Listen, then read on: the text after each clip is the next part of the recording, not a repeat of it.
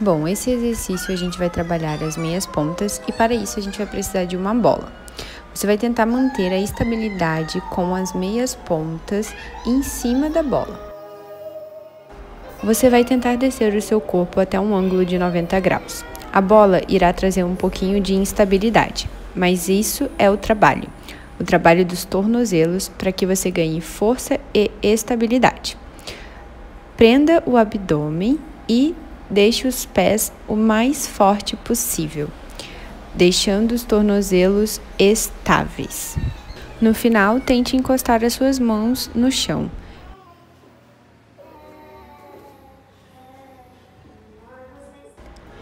Este exercício é um exercício de mobilidade.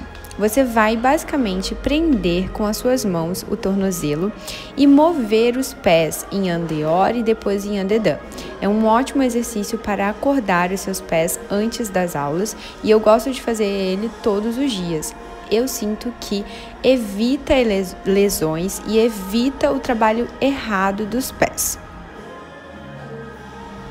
Gire para dentro quanto para fora, acordando o máximo a articulação do tornozelo.